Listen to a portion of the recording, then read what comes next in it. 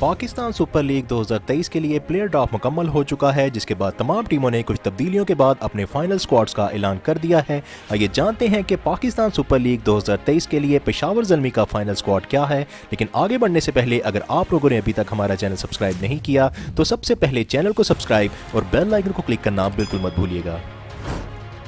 पिशावर जलमी के स्क्वाड में शामिल बैट्समैनों में सबसे पहले शामिल हैं पाकिस्तान टीम के captain right handed batsman Babar Azam, जो कि इस सीज़न में पिशावर जलमी की कैप्टनसी के फ्राइज भी सर अंजाम देंगे। इसके बाद शामिल हैं वेस्ट इंडीज से left handed batsman Sherfane Rutherford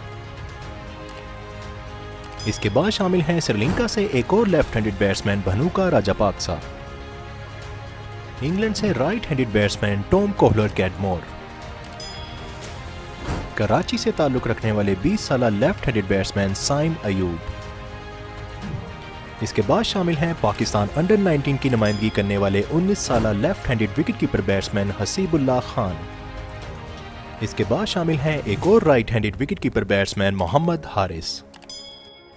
इसके बाद पेशावर जलमी के स्क्वाड में शामिल ऑलराउंडर्स में सबसे पहले शामिल हैं न्यूजीलैंड से ताल्लुक रखने वाले right arm medium fast bowling के साथ साथ लेफ़्ट हैंडेड बैटिंग करने वाले ऑलराउंडर जेम्स नीशम इसके बाद शामिल हैं वेस्ट इंडीज से right arm medium fast bowling के साथ साथ राइट हैंडेड बैटिंग करने वाले allrounder Rovman Powell slow left arm orthodox के साथ साथ लेफ़्ट हैंडेड बैटिंग करने वाले allrounder Danish Aziz right arm medium bowling के साथ साथ राइट हैंडेड बैटिंग करने वाले ऑलराउंडर आमिर जमाल इसके बाद स्क्वाड में शामिल बॉलर्स में सबसे पहले शामिल हैं अफ़गानिस्तान से ताल्लुक रखने वाले right arm off spinner Mujeebur Rahman इसके बाद शामिल हैं experience left arm fast bowler Wahab Riaz.